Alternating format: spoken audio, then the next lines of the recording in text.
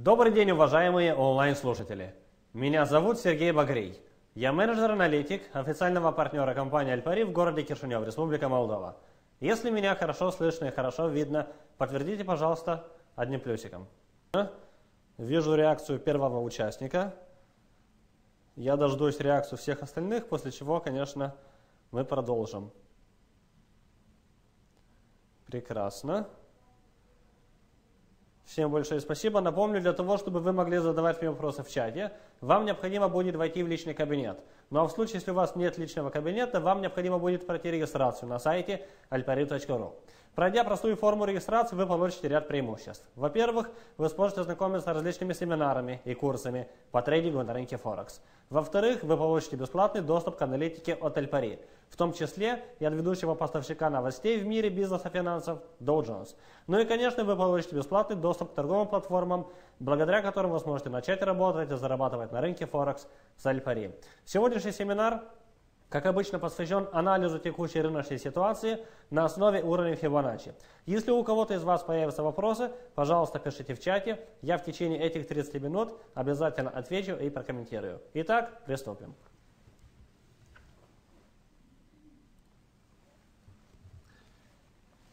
Откройте, пожалуйста, график по валютной паре евро-доллар.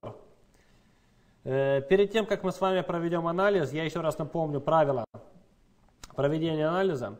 Э, во-первых, нам с вами необходимо определить э, направление движения цены. Это мы с легкостью определяем э, на основе минимальных и максимальных цен двух периодов, в данном случае двух дней.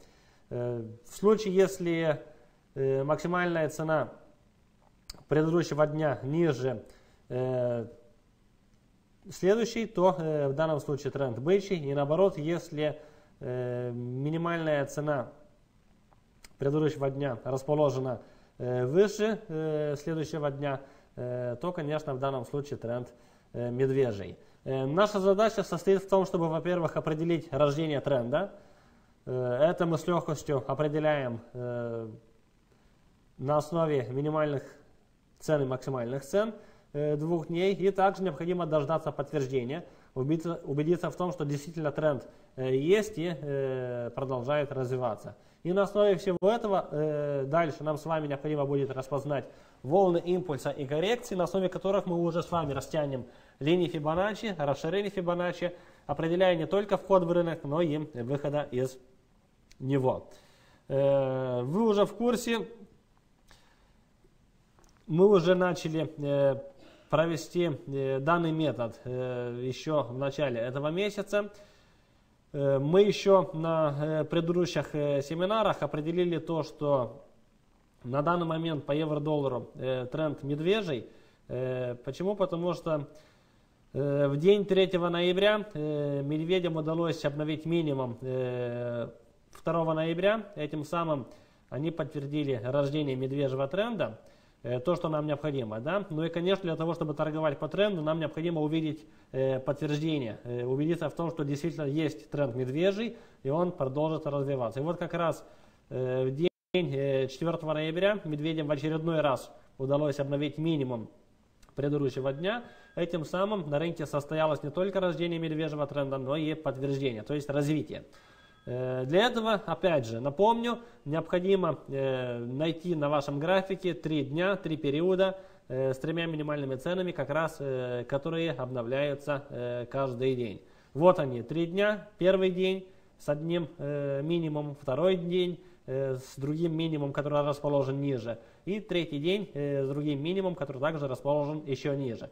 Три дня с тремя минимальными ценами, благодаря которых мы с вами поняли то, что на рынке есть медвежий тренд, и э, этот тренд продолжит развиваться э, до тех пор, пока мы опять вновь не увидим три периода, три дня с тремя максимальными ценами. Вот на основе всего этого нам с вами необходимо каждый день торговать по тренду до тех пор, пока у нас не поменяется направление движения цены.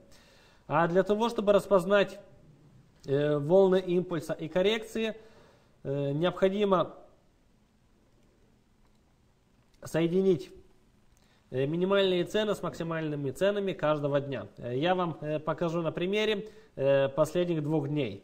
в день 9 ноября необходимо соединить от минимальной цены до максимальной цены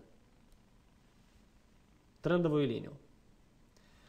В день 10 ноября, это было вчера, необходимо соединить трендовую линию от максимальной цены до минимальной цены. И вот только после чего э, мы с вами э, соединили э, трендовую линию по основным точкам, но в данном случае нам еще остается откорректировать эти линии для того, чтобы нам уже было ясно и понятно, где волна импульса, а где волна коррекции. Я также хочу вернуться немножко назад, именно после того, как мы получили с вами продолжение подтверждение о том, что тренд продолжается. Э, и э, хочу еще раз напомнить на то, что э, мы с вами в основном входим в рынок при коррекции с уровня 50 по Фибоначчи.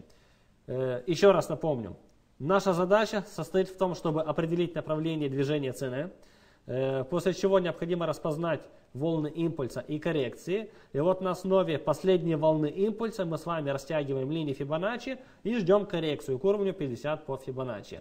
Э, на самом деле в данном случае э, благодаря э, трендовой линии, благодаря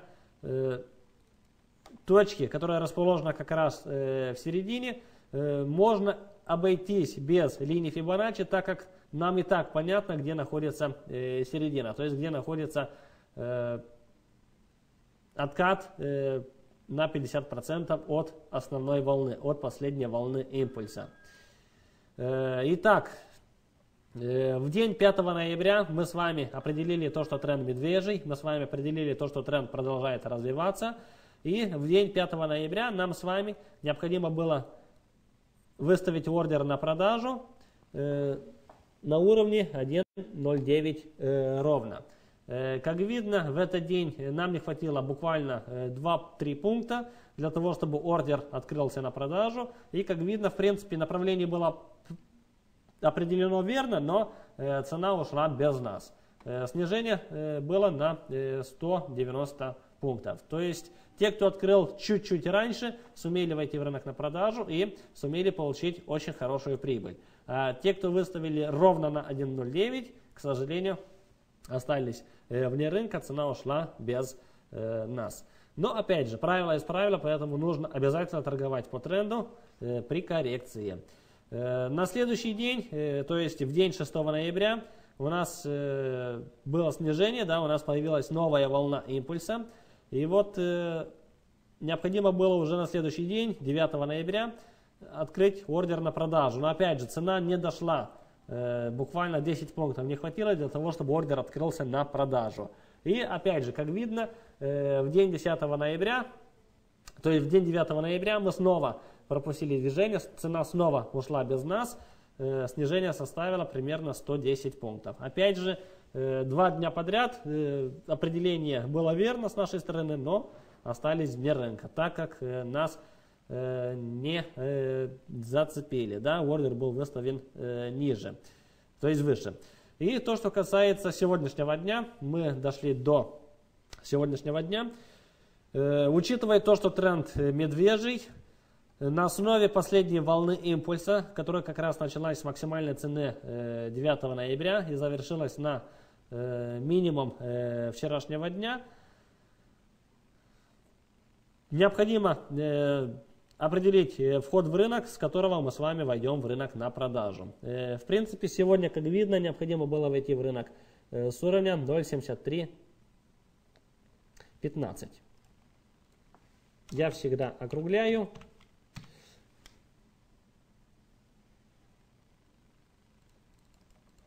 1.073.15. Э, в начале э, сегодняшнего дня, как видно, э, состоялась коррекция, нужная нам коррекция на 50% от последней волны импульса. И ровно с этого уровня необходимо было войти в рынок на продажу. Цена сперва пошла против нас, сейчас у нас небольшой плавающий убыток. Но опять же, стоп-лосс не был достигнут. Почему? Потому что мы с вами стоп-лоссы всегда выставляем выше э, последней волны импульса. В данном случае стоп-лосс выставляется на уровне 0,795 я бы порекомендовал. 1,0795.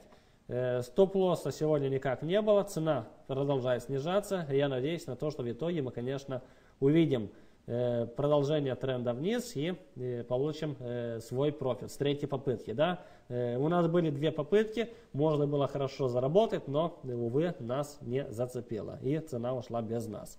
То, что касается дальнейших целей по евро-доллару. Для этого есть инструменты расширения Фибоначчи, на основе которого мы и определим цели.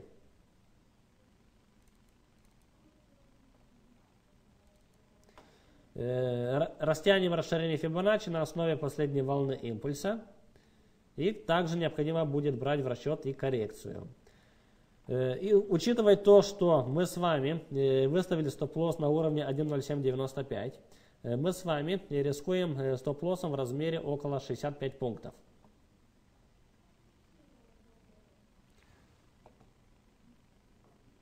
Минуту, минуту, пожалуйста. 0,7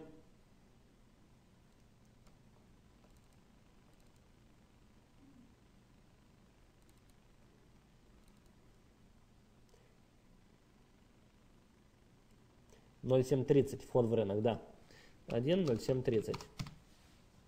Учитывая то, что мы с вами э, выставили стоп-лосс на уровне 1,0795, э, стоп-лосс составляет, размер стоп-лосса составляет 65 пунктов. В данном случае э, нас интересует э, как минимум э, та цель, э, по которой мы с вами зараб сумеем заработать э, хотя бы 1 к 1,5 в полтора раза больше. То есть э, в данном случае нас э, как минимум, опять же, это как минимум, интересует цель 1.0650. 1.0660. 1.0660. В данном случае take profit составляет 70 пунктов. Ну, один к одному в данном случае. Э, примерно. Ну и э, последняя цель, это как раз та цель, та цель, долгожданная цель, э, где мы с вами сумеем заработать хорошую прибыль на уровне 1.0590.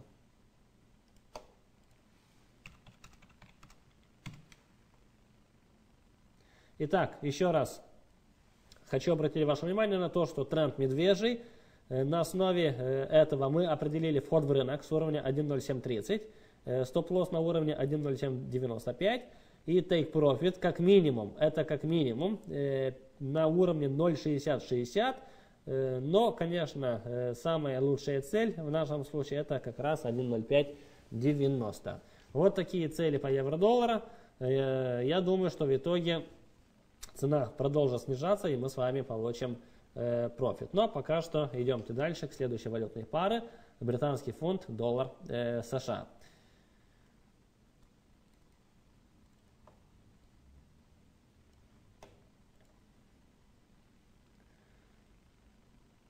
По данной валютной пары, э, как видно, тренд э, медвежий. Это мы с вами определили в день 3 ноября, когда медведям удалось обновить минимум предыдущего дня. А в день как раз 6 э, ноября мы с вами убедились в том, что есть действительно медвежий тренд и есть э, развитие этого тренда. Вот, кстати, в начале недели, э, в понедельник, 9 ноября, мы с вами определили то, что необходимо войти в рынок на продажу с уровня 1.51 и 20.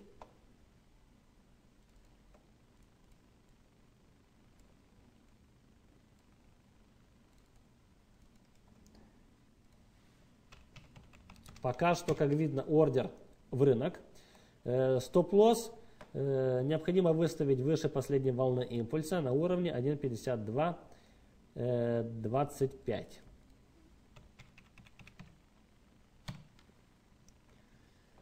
Э, итак, по валютной паре британский фонд доллар США тренд медвежий, вход в рынок, как видно, состоялся еще в день 9 ноября. На тот момент мы с вами увидели откат к уровню 51.20, и вот тогда необходимо было открыть ордер на продажу. Э, вчера э, цена вяло то шла наверх, то шла вниз. Сегодня вот видно, что цена пошла наверх, но стоп-лосс не был достигнут, поэтому мы еще в рынке. Цель. Итак, цель, это, конечно, очень важно. То, что касается дальнейшей цели по валютной паре британский фунт доллар США, опять же, учитывая то, что мы с вами установили стоп-лосс в размере 105 пунктов, нас как минимум интересует take profit в полтора раза больше, то есть около 150 пунктов. Если установить take profit по первой цели, то в данном случае соотношение составит 1 к 1. 52, 1,50 и 10. Это первая цель.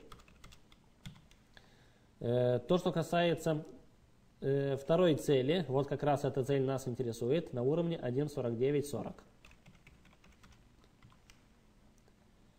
И э, то, что касается третьей цели, это на уровне 1.4820.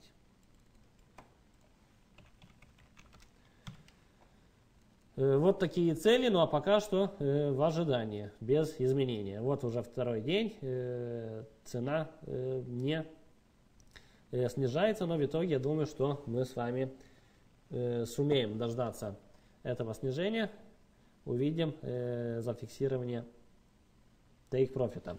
Аида спрашивает, Сергей, мне, удается, мне не удается смотреть трансляцию, я и не могу найти последнее занятие на ютубе. Больше не будет на ютубе? Будет Аида, обязательно будет. Пожалуйста, терпение, и я начну выкладывать семинары ежедневные на ютубе. Э, далее, доллар США, швейцарский франк. Э, по данной валютной паре тренд, как видно, бычий. Э, подтверждение, что тренд продолжает развиваться, мы получили 5 ноября, когда увидели те три дня с тремя максимальными ценами. И также обращаю ваше внимание на то, что Э, вот, кстати, э, в день 6 ноября нам с вами необходимо было покупать. Еще раз обращаю ваше внимание на то, что в день 6 ноября мы с вами должны были э, дождаться коррекции на 50% от последней волны импульса. Последняя волна импульса, вот она. И вот на основе этой волны импульса я и выставил уровень, с которого необходимо было войти в рынок на покупку. И вот как раз в день 6 ноября те, кто увидел достижения этого уровня э, должны были покупать. Я, в принципе, и рекомендовал, и вот, как видно, цена пошла наверх 120 пунктов. Э, так что примите это к сведению. Э, то, что касается понедельника, то, что касается 9 ноября, вот, кстати, 9 ноября мы с вами, опять же, должны были покупать с уровня 1.0010 э, э, я, в принципе, опять же рекомендовал, и как видно, э, с этого уровня, опять же, рост начался, и мы с вами опять сумели бы зафиксировать прибыль. Итак, по валютной паре доллар США, швейцарский франк мы с вами уже должны были войти в рынок два раза, и оба раза удачно. Оба раза мы с вами должны были получить профит. Э, но опять же, нас интересует также э, сегодняшний день. Э, вот как, как раз на основе сегодняшнего дня нам опять же необходимо будет покупать. Последняя волна импульса началась с минимум вчерашнего дня и завершилась на максимум вчерашнего дня. И вот как раз с уровня 1.00 45 сегодня необходимо было покупать. Как видно, Цена подошла к этому уровню, у нас открылся ордер на покупку, цена пошла сперва против, но стоп-лосс не был достигнут. Стоп-лосс рекомендую выставить на уровне 0.9995. 90, то есть даже 0.90, 90, 0.99, 90. Э, пока что цена находится э, выше уровня открытия, у нас плавающая прибыль небольшая. Э, теперь, конечно, нас интересует цель. Для этого есть инструмент расширения Фибоначчи. На основе последней волны импульса и коррекции определяем цель. Э, первая цель нас не интересует. Нас как минимум интересует вторая цель на уровне 1.01.15. И э, последняя цель на уровне 1.0170.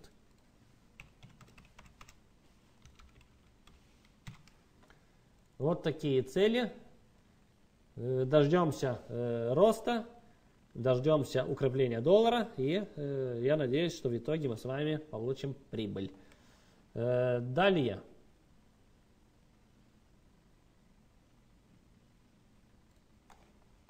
Доллар США, японская иена.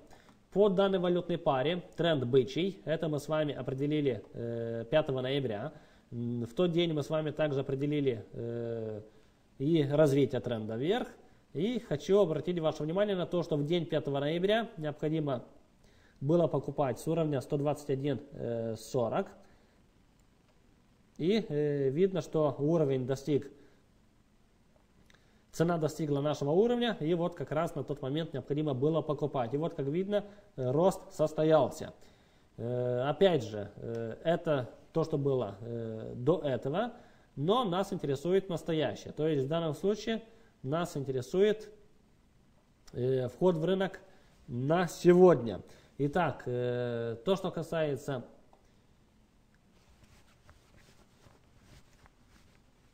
сегодняшнего дня, я обращаю ваше внимание на то, что э, последняя волна импульса э, началась с минимум 9 ноября и завершилась на максимум 10 ноября. Но не стоит забывать следующее. Волна считается э, только в том случае, если э, максимум э, последней волны э, выше э, предыдущего. На самом деле основная волна вот она. Почему? Потому что вчера быкам не удалось обновить максимум э, предыдущего дня. Да? Я вам не раз говорил о том, что вот в таких случаях у нас в принципе боковое движение.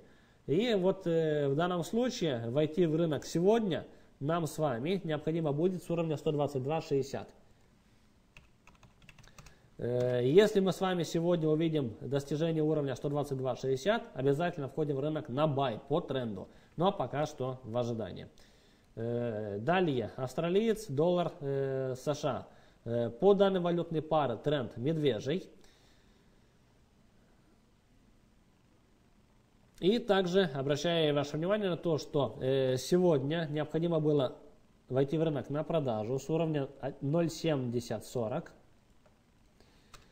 Цена достигла нашего уровня, э, но, как видно, цена пошла против. Да? И, э, вероятнее всего, у нас сработал бы стоп-лосс 0.7075. Была такая цена сегодня? Да, сегодня была такая цена. К сожалению, нас только зацепила и цена начала снижаться. Э, итак, в случае, если кто-то сегодня не открыл ордер на продажу, рынок дает еще один шанс. Э, вот если, конечно, цена преодолеет уровень 0.7040, то можно будет войти в рынок на продажу в продолжение развития тренда. Ну а пока что, конечно, в ожидании. Ну и давайте определим дальнейшие цели. Это, конечно, очень важно на основе последней волны импульса и коррекции. Итак, нас интересует как минимум последняя цель. Нас интересует всего лишь одна цель 0,6990. 95 даже.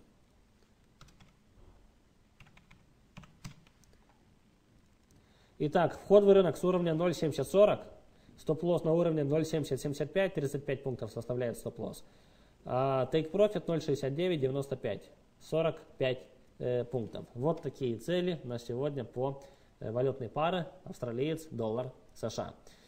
Э, то, что касается новозеландского доллара, доллара США, тренд у нас также медвежий. Э, хочу обратить ваше внимание на то, что в день 5 ноября нам с вами необходимо было продавать с уровня 0,6635. Э, как видно, этот эта цена была достигнута. И вот с того момента необходимо было открыть ордер на продажу. И как видно, на следующий день продажа состоялась. 130 пунктов вниз. Но это опять же то, что было. Да?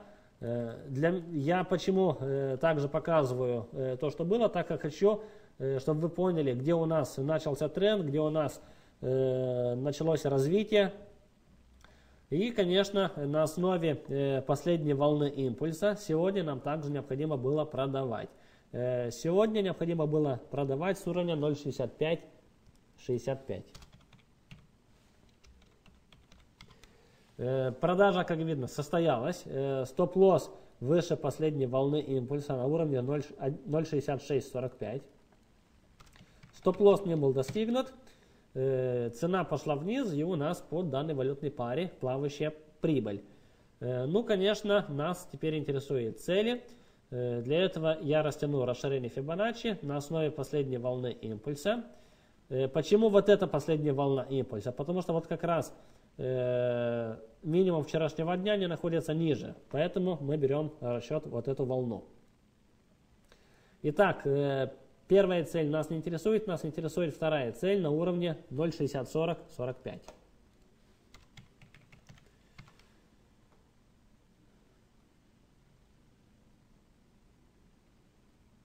Ноль шестьдесят, ноль шестьдесят четыре, извините, э, ноль шестьдесят четыре, сорок пять. Э, и последняя цель на уровне ноль шестьдесят три,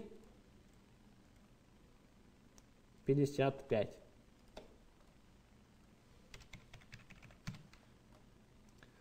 Ну а пока что, конечно, в ожидании. И пока что с плавающей прибыли небольшой. И последняя валютная пара это доллар США, доллар канадец. Э, по данной валютной паре тренд бычий. Вот они, три дня с тремя максимальными ценами. Э, и также обращаю ваше внимание на то, что на основе последней волны импульса, вот она, последняя волна импульса, началась она как раз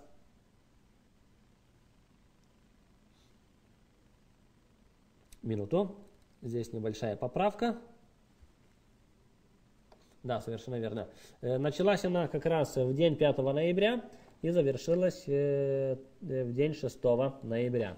По валютной паре доллар США, доллар канадец необходимо будет покупать с уровня 1.3235.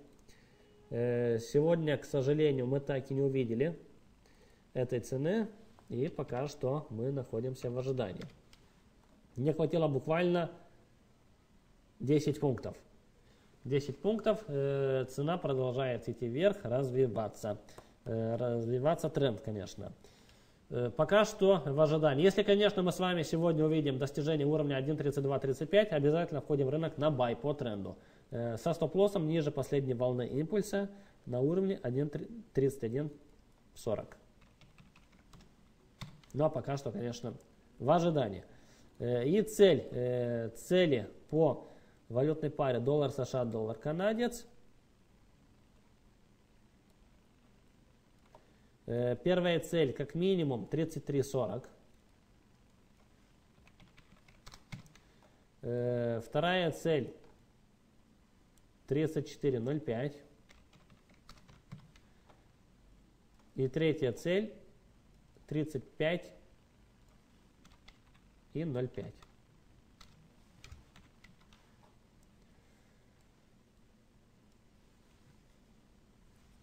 На протяжении э, двух, вот сегодня третий день, пока что еще э, мы не увидели э, коррекцию на 50% по последней волне импульса, поэтому в ожидании.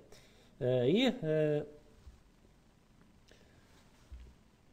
Нина пишет, акцент на третий день, его, и в этот день от 50 по FIBA открываем сделку. Совершенно верно, Нина. Мы с вами ставим акцент на третий день. И вот как раз на основе последней волны мы с вами растягиваем FIBA и выставляем отложенный ордер по тренду, конечно, на 50%.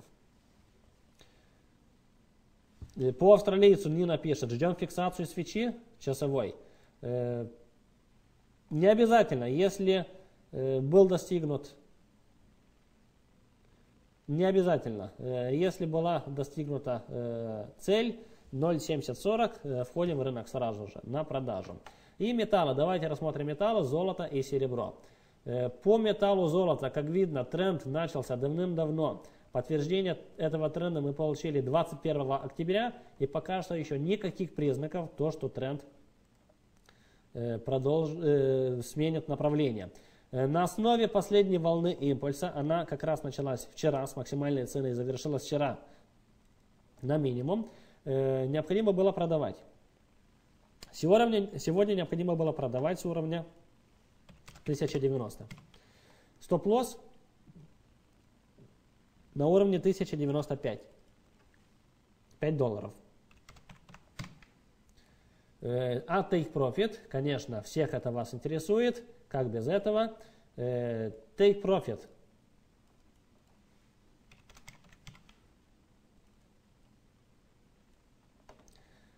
Как минимум, как минимум, первая цель 1085.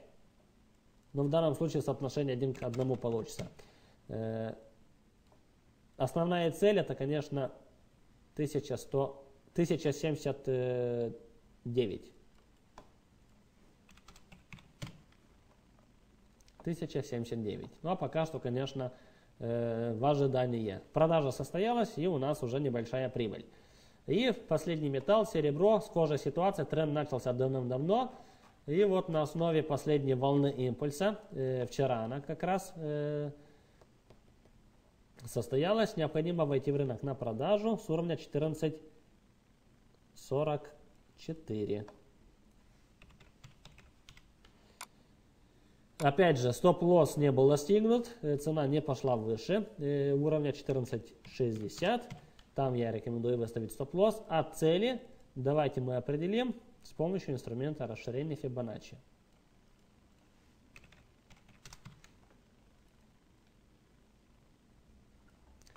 Итак, э, как минимум, первая цель, но в данном случае, опять же, соотношение 1 к 1, 14.24, э, и последняя цель 14.07.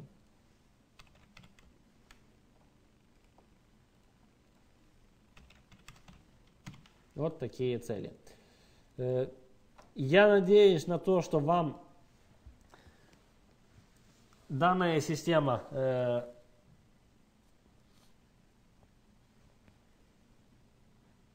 помогает определить э, входы в рынок, определить выходы из рынка. Я надеюсь на то, что благодаря нашим э, анализам, э, нашим семинарам ежедневным на основе э, теории Фибоначчи э, вам э, удается э, все-таки с точностью определить направление тренда, направление рынка и также определить э, смена тренда. Пока что Э, нет э, изменения тренда, пока что идем только в одно направление. До тех пор, пока мы, конечно, не увидим э, разворот. А разворот мы увидим только, опять же, на основе трех дней.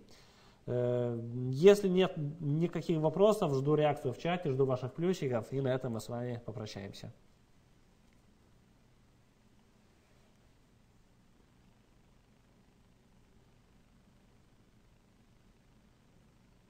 Я пока что вижу реакцию двух участников, два плюсика, три. А где все остальные? Э, для того, чтобы найти мои семинары на YouTube, напишите мою фамилию, мою фамилию, мое имя, э, Сергей Багрий, и э, появятся все мои семинары.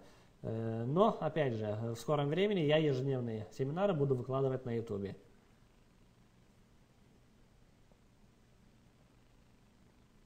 Да, совершенно верно. Дмитрий спрашивает, если в течение э, дня выяснится, что откат немного сильнее, то нужно ли перестраивать э, расширение Фибоначчи? Обязательно, Дмитрий, обязательно. Обязательно.